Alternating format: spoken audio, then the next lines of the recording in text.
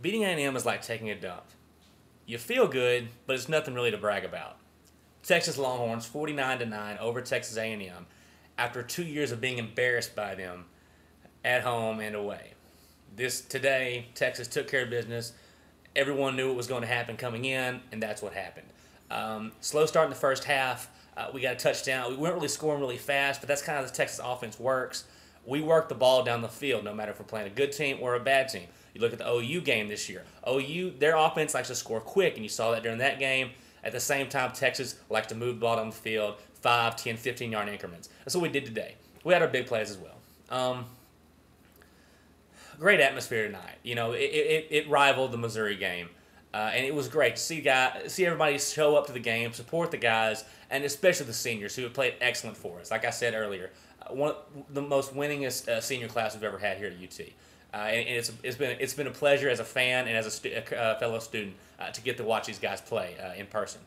Um, really, you know, if you watch the game, you saw what happened. Texas did what we had to do. We, we blew them out. we could have made more, but in the fourth quarter, if you watched it, we put in John Chiles and we did get a touchdown out of it, but we were running the football the whole time. And, and as Texas fans, we know when you put John Chiles in, that means Mack Brown is um, saying the game is over.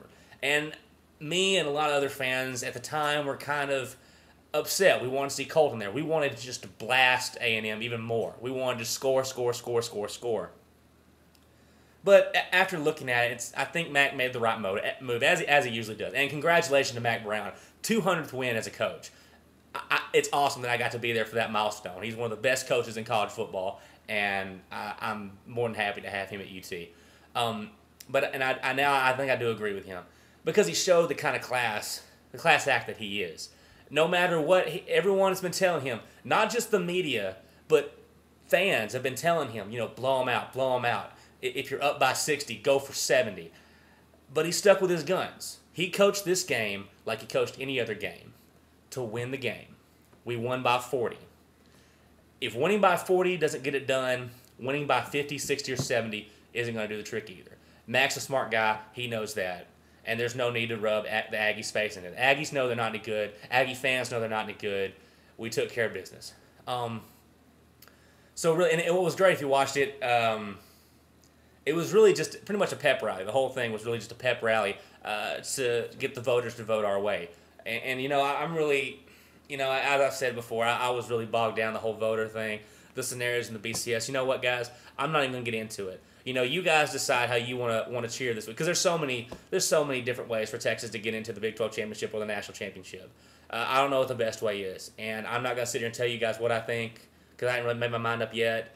Uh, I may do that Saturday. I won't make a video about it, but um, what I will say is um, for the voters, if you're watching, uh, if you remember back in October, uh, something went down. Um, you know I'm talking about?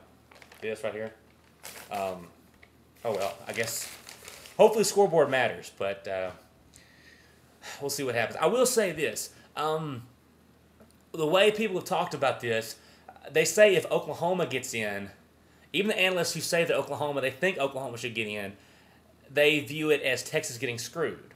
But I see where people say if Texas gets in, they don't see Oklahoma getting screwed because Oklahoma lost head to head. I'm just putting that out there. I don't know.